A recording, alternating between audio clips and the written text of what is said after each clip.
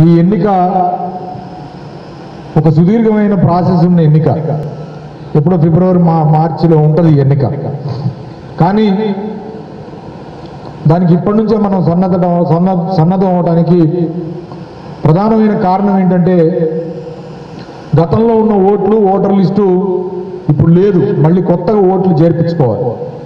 గతంలో ఉన్న ఓట్లు ఓటర్లు ఎవరైతే ఉన్నారో వాళ్ళు కూడా కంటిన్యూ కారు వాళ్ళు కూడా మళ్ళీ కొత్తగా ఓట్లు చేరాలి.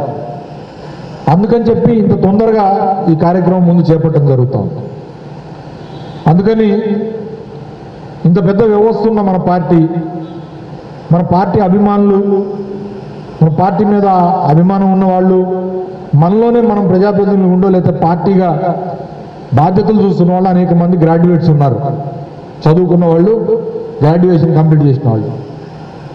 వీళ్ళు వీళ్ళతో పాటుగా మన అభిమానించే వాళ్ళు మనం కొత్తగా ఓట్లు చేర్పించుకునే కార్యక్రమాన్ని ముందుగా మనం టేకప్ చేయాల్సిన అవసరం ఉందనే ఉద్దేశంతో ఈ కార్యక్రమం చేపట్టడం జరుగుతూ ఉంది. అయితే దీన్ని ఏం చేయాలి ఎట్లా చేయాలి?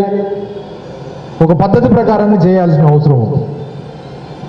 ఇది చేయటానికి ఒక పద్ధతికి ప్రాతిపదిక ఏంటంటే పాత ఓటర్ లిస్టు.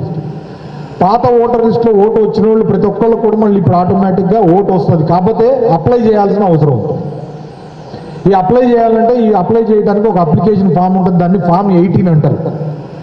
ఆ ఫామ్ ఎయిటీన్ అప్లికేషన్ పా- అప్లికేషన్తో పాటుగా రెండు వేల పదిహేడవ సంవత్సరానికి ముందు గ్రాడ్యుయేషన్ కంప్లీట్ అయిన ప్రతి ఒక్కళ్ళు ఎవరు రిటైర్ అయిన ఉద్యోగస్తులతో సహా ప్రతి ఒక్కళ్ళకి ఓటు హక్కు పొందే అవకాశం ఉంది హక్కు ఉంది.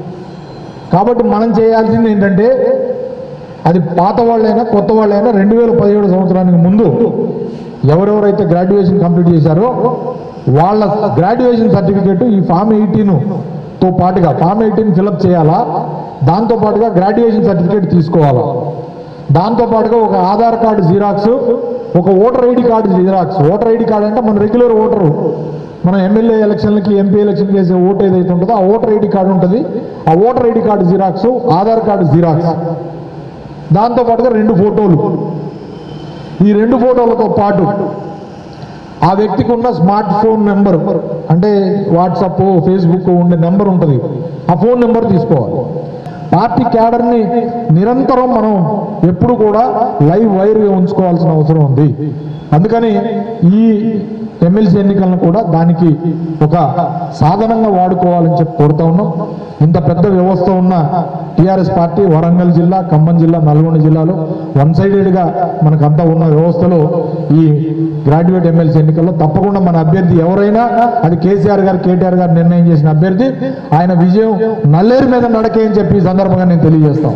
ఈ ఓటర్ నమోదు కార్యక్రమాన్ని అందరూ కూడా దయచేసి సీరియస్గా తీసుకోవాలని చెప్పి కోరుకుంటూ మీ అందరూ కూడా వచ్చిన ఇన్ఛార్జీలు అందరికి కూడా నేను పేరు పేరున అభినందనలు ధన్యవాదాలు తెలియజేసుకుంటూ సెలవు తీసుకుంటా ఉన్నా. జై తెలంగాణ.